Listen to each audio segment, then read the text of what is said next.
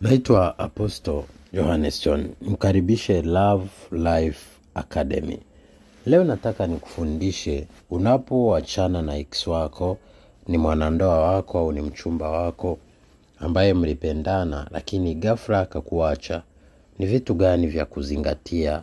Na swali la leo linasema kwamba kwa nini kutokujali kunaweza kuokoa mahusiano yako?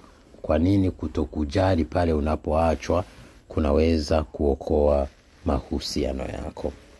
Unapokuwa ameachana na mtu, watu wengi huwa wanaendelea kuwahudumia wale watu, kujitoa zaidi kwa wale watu, lakini pia kutafuta namna ya amani katikati ya vita.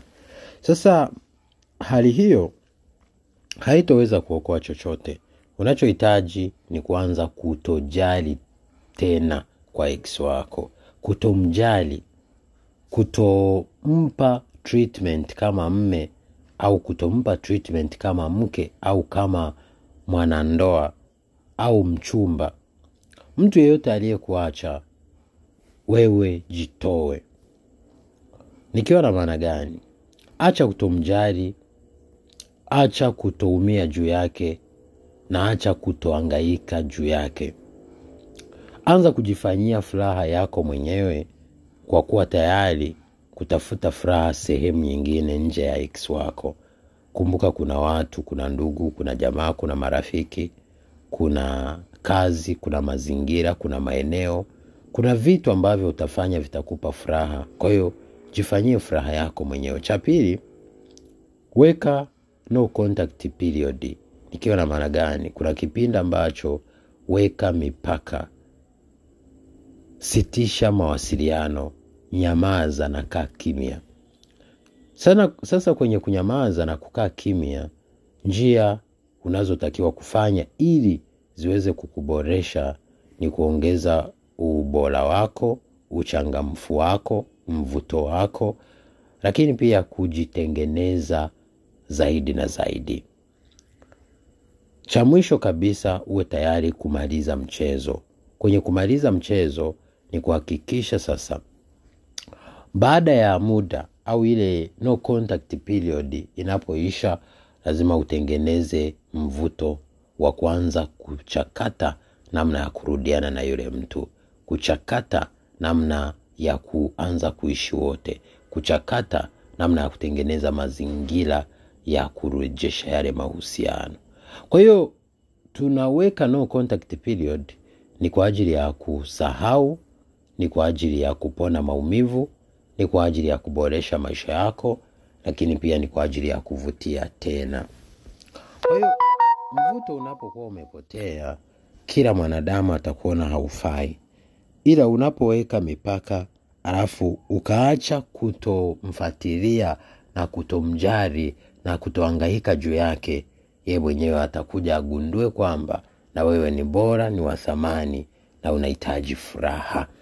Anapogundua hicho kitu, ina maana ataweza kurudi kwenye akili yake. Kumbuka, watu tunapokuwa tumewapenda tukajitoa kwao, huwa wanahisi akili zetu hazina akili na wanaweza kututriti jinsi wanavyohitaji. Sasa hiyo levo lazima uwe tayari kuivuka kwa kutengeneza akili ya kuamini kwamba na wewe unaweza kufurahia maisha hata kama ulimpenda. Ni kweli unapokuwa umependana na mtu ni kitu ambacho huwa kinatengeneza mazoea, lakini pia kumfanya mtu umwaze sana, hususan mtu anapokuacha kwanza. Kumbuka, mtu anapokuacha kwanza, huwa unatengeneza fikra za hasara kwamba nimepoteza kitu cha thamani, bado nilikuwa nakipenda, bado nilikuwa nakitegemea, na yale mahusiano nilikuwa nayahitaji. Lakini yeye kuja kukuacha, ndani ya akili yake unakuta amechakata hilo jambo ndani ya muda mrefu, kwa hiyo ameshatafuta majibu ya kumfariji anapokuacha. Ndio maana mtu anayekuacha ana uwezo wa kukuacha kwa dharau, hata ubembeleze vipi au ufanye vipi, habadilishi msimamo wake, kwa sababu ni mtu ambaye mchakato wa lile wazo amekanaro kwa muda mrefu. Sasa yeye anakuja kukwambia hivi binipu, ndo maana unakuja kuumia, kwa sababu ulikuwa haupo kwenye maandalizi ya kupitia kipindi kigumu, ila yeye anakuwa ameisha chakata ndani ya akili, ameshajiridhisha, ameshapitia yale maumivu ya kuhisi kwamba atakuacha ataumia ameshajirekebisha. Kwa anapokuja kutoa kauli wewe kwako inakuwa kauli ya kustukiza lakini kwake yeye linakuwa ni jambo ambalo limeshakuwa kama marudio limeshazoeleka na ameshaliona la kawaida ndio maana wengi wanaoacha kwa muda huo huo hawaji kuumia.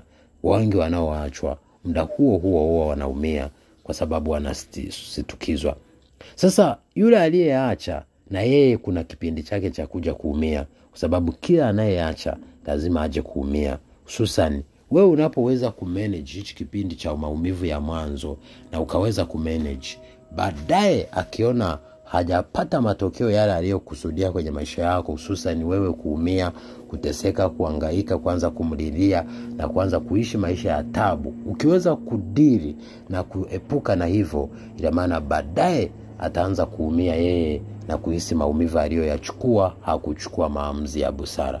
Mimi kuna wadada wengi na wakaka wengi ninawashauri usiku na mchana. Pale walipoacha wenzi wao waliwaacha kwa dharau wakihisi wao ndo wana thamani na wao wanavutia wao hawalilii kwao wakaja wakaacha.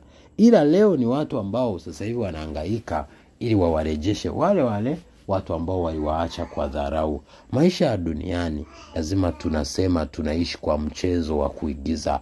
Leo ni kwangu kesho ni kwako. Yule anayelia leo kesho atacheka. Yule anayecheka leo kesho atalia. Unachotakiwa ni kuamini kwamba maisha ni mchezo wa maigizo. Usiumie usiteseke usizidi kuangaika kwa mtu aliyekuacha kwa sababu kuna kipindi chake kitafika ambacho wewe utakuwa na furaha. Sasa kutengeneza furaha yako mapema na kirahisi ina maana itakupa haueni mapema na kuumia kidogo. Mimi naitwa apostle. I love you so much. God bless you. Be a shining star.